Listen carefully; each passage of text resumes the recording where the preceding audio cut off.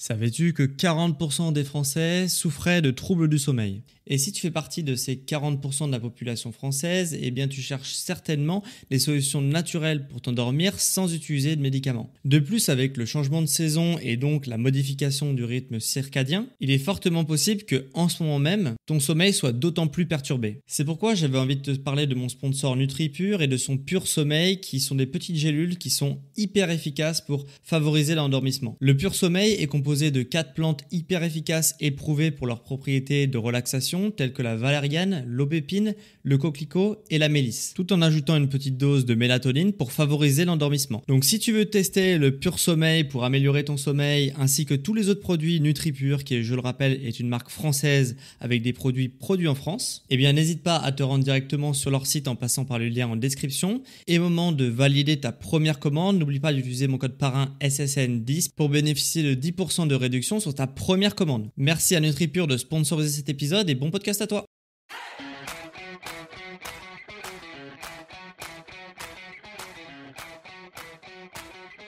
Ok, bienvenue à tous et bienvenue sur le podcast Sport Santé Nutrition. Je m'appelle Médéric, je suis coach sportif et tous les dimanches je te permets de te remettre en forme et de te transformer physiquement grâce au sport et à la nutrition tout en prenant soin de ta santé. Et aujourd'hui, on va justement avoir un épisode nutrition puisque on va parler des légumineuses parce que euh, il y a encore trop de gens qui pensent que les légumes et les légumineuses c'est la même chose. Donc dans ce podcast, je vais te parler un petit peu de ces deux familles d'aliments en t'expliquant bien sûr leurs différences, mais en quoi aussi ces deux familles d'aliments peuvent être très intéressants dans ta nutrition au quotidien et surtout pour atteindre tes objectifs. Donc on enchaîne tout de suite sur leurs différences parce qu'il y a beaucoup de différences entre ces deux familles que sont les légumineuses et les légumes puisque eh bien de par nature, si tu veux, ce n'est pas la même chose. Euh, les légumes, euh, quand on les sort de la terre, ok, euh, une fois qu'ils ont été à maturité, on les sort de la terre, on peut les consommer frais ou cuits. Ok, ça fait une différence première avec les légumineuses puisque les légumineuses, quand on les sort de la terre, quand ils sont matures, eh bien en fait ils sont recouverts d'une enveloppe de protection que l'on va enlever et en fait, la légumineuse que tu consommes au quotidien, c'est la graine de, une fois qu'on a enlevé l'enveloppe qui protège le légume qui protège la légumineuse en fait. Donc ça fait déjà une première grosse différence entre ces deux familles, les légumes et les légumineuses, puisqu'il y en a un que tu vas enlever la coque pour consommer la graine, et l'autre où tu vas tout simplement le consommer tel quel, soit frais, soit cuit à la poêle par exemple, mais en tous les cas, voilà, il n'y aura pas, euh, il y aura pas de, de graines ou d'enveloppe à enlever. Pour ceux qui se poseraient la question de bah, quels aliments euh, connus font partie des légumineuses. En fait, il y a plusieurs familles dans les légumineuses. Euh, il y a tout, d'abord la famille des haricots, ok, tout ce qui va être haricots sauf les haricots verts. On va tout ce qui est euh, lentilles, ok. On a tout ce qui est pois, sauf les petits pois, et on a tout ce qui est fèves et on a tout ce qui est également soja. Ok, toutes les variétés de soja sont des légumineuses. Euh, donc, pourquoi les haricots verts et les petits pois euh, ne font pas partie de cette famille? Pour la petite histoire, c'est parce qu'ils sont récoltés verts. Donc, comme ils sont récoltés euh, verts quand ils sont matures, eh bien, ils ne font pas partie de la famille des légumineuses puisqu'ils ont beaucoup plus de propriétés qui se rapprochent de ce qui est des légumes. C'est pour ça qu'ils sont, ils font partie des légumes. Donc maintenant qu'on a parlé des différences biologiques entre ces deux famille, on va parler un petit peu de leurs différences nutritionnelles, avec bien sûr l'intérêt de consommer des légumineuses et l'intérêt de consommer des légumes. L'intérêt de consommer des légumineuses, ça va être déjà, premièrement, une source de fibres. Ok, les fibres c'est super important pour améliorer le transit, hein, pour améliorer le confort intestinal, donc c'est une bonne source de fibres. Euh, deuxième intérêt des légumineuses, c'est que c'est une bonne source de vitamines. Euh, je te passerai le nom des vitamines, mais il y a la A, il y a la B9, euh, voilà. Il y en a, plein d'autres, mais voilà, c'est une bonne source de vitamines. On a aussi une bonne source de minéraux, hein, qui ne sont pas la même chose, les vitamines et les minéraux, même si on a tendance à les mettre ensemble.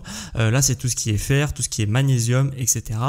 Et le gros intérêt des légumineuses, notamment pour toutes les personnes qui sont végétariens ou véganes, eh bien c'est d'avoir des protéines. Euh, c'est extrêmement difficile d'avoir beaucoup de protéines quand on est végétarien et du coup, bah, si on ne consomme pas de légumineuses, on a euh, de grandes chances d'être en mauvaise santé.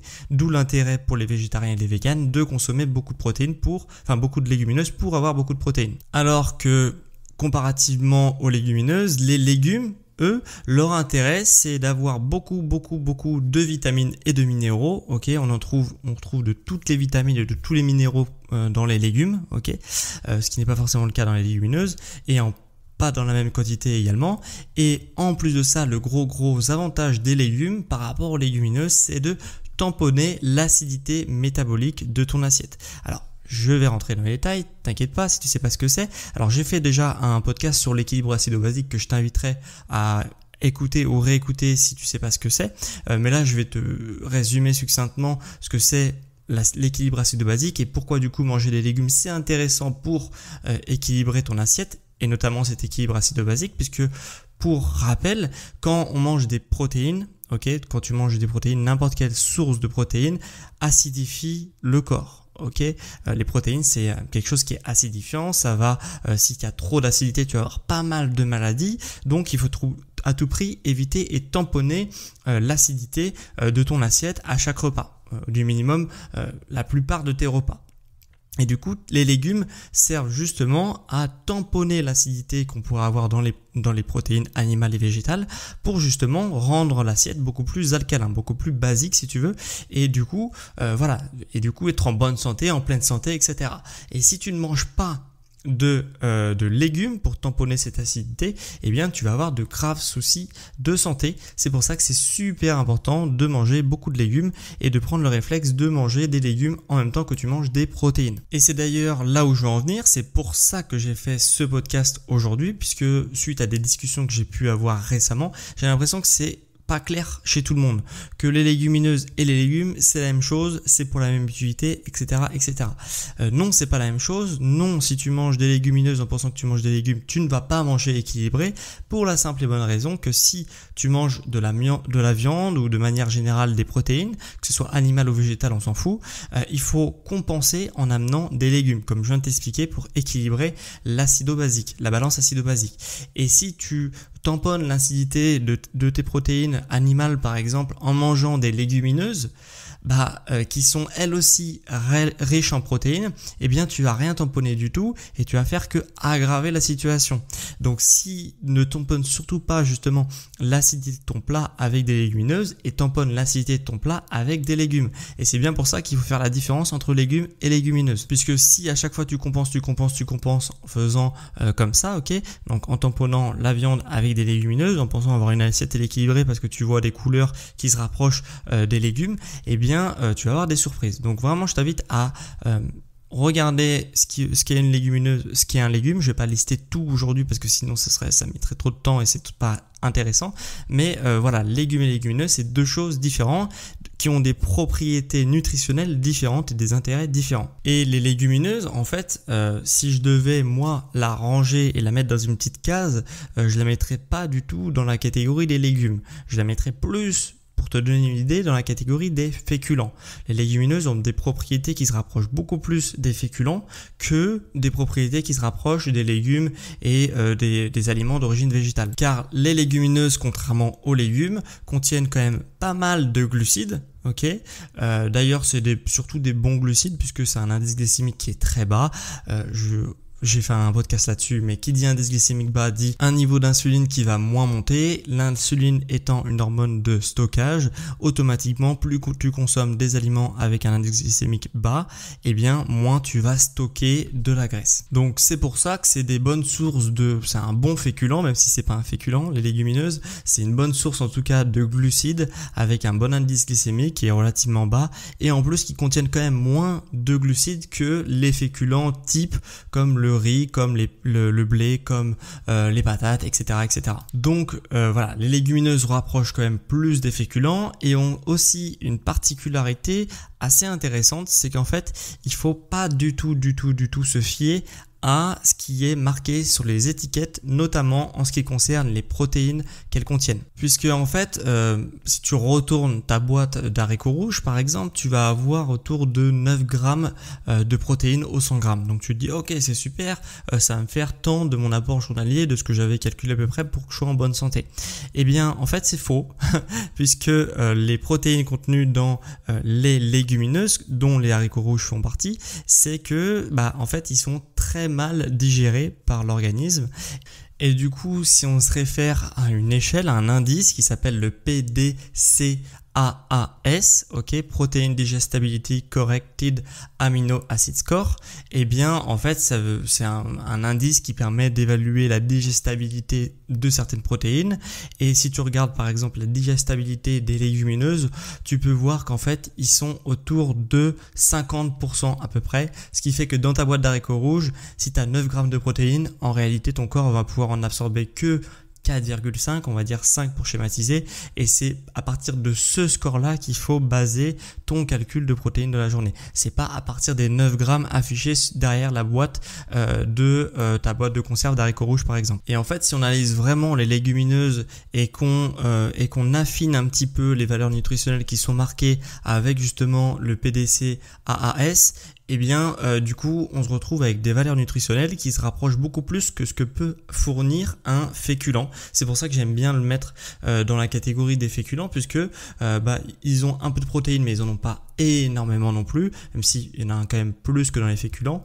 il y en a, il y a un peu moins de glucides dans les légumineuses, mais il y a quand même un peu de glucides. Donc c'est un peu un hybride, mais ça se rapproche quand même pas mal de ce qui est fait avec des féculents par exemple. Et en fait, pour ceux qui se poseraient la question de pourquoi une aussi grande différence de 50% de protéines, euh, et c'est valable aussi pour euh, les euh, justement les minéraux et les vitamines contenus dans les légumineuses, c'est parce qu'en fait les légumineuses, j'ai fait un podcast dessus, mais sont extrêmement riches, si je peux dire ça comme ça, en antinutriments. en fait, les légumineuses sont des plantes qui sont très très robustes, qui résistent à pas mal de choses, et du coup à l'intérieur de la plante, il y a des antinutriments. C'est d'ailleurs pour ça qu'on fait tremper ces légumineuses pour enlever une partie des antinutriments, même si on peut jamais enlever la totalité. Et du coup, d'avoir beaucoup beaucoup d'antinutriments qui protègent la plante contre les prédateurs naturels de la plante, eh bien, on va justement euh, avoir quand on va l'absorber ces antinutriments qui vont faire barrage et qui vont euh, ne pas permettre au corps d'absorber la totalité de ce que contient la plante en elle-même. Donc vraiment, tout ça s'explique à cause des antinutriments. Si tu veux en savoir plus sur ce sujet des antinutriments, et des légumineuses, j'ai fait un podcast complet dessus, ok, sur l'un et l'autre, sur les antinutriments et sur les légumineuses.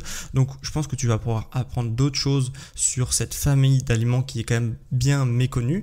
Et euh, mais en tout cas, c'est assez marrant de euh, voir que bah il faut pas tout le temps se fier à ce qui est derrière l'étiquette, puisque sinon on a des valeurs qui sont complètement complètement faussées. Et on parle pas de 5%, 10%, on parle quand même de diviser de moitié un quota de, de un quota de protéines annoncées sur la boîte. Donc voilà, j'espère que ce podcast t'a plu, euh, où je t'ai expliqué dans un premier temps les différences biologiques, les différences nutritionnelles entre les légumineuses et les légumes.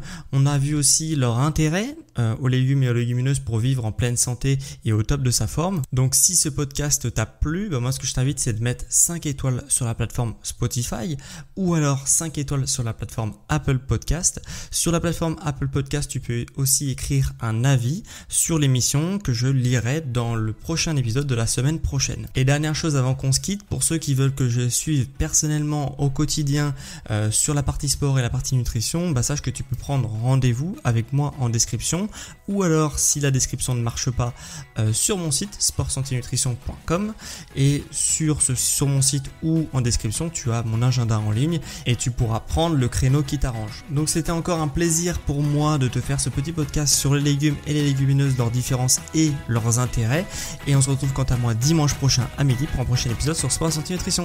Tu les sportifs intelligents